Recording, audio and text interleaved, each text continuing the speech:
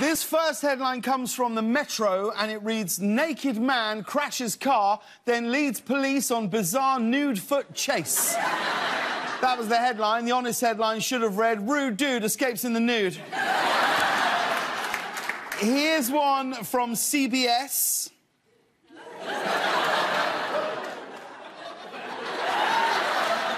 And the headline says there's now only one blockbuster left on the planet.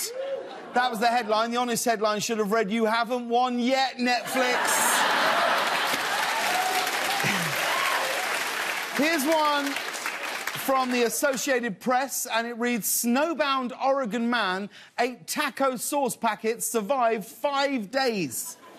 That was the headline. The honest headline should have read That's why you always get extra sauce. That's why you never know.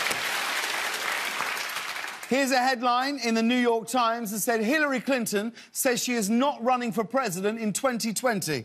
That was the headline. The honest headline should have read Bernie will have to ruin it for someone else. oh, yeah. Feels like it's just all silly. Every now and then, we'll get you. Here's one from CNN that said a man bought $540 in cookies so these Girl Scouts could escape the cold.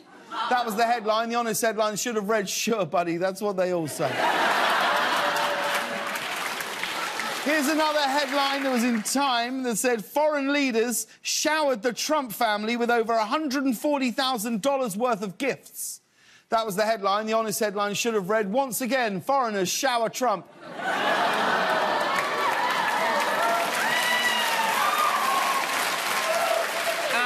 Finally, here's a headline from the New York Post, and it reads Parents say Peppa Pig is causing their kids to speak with British accents. That's the headline. The honest headline should have read James Corden doesn't like that parents are calling him Peppa Pig.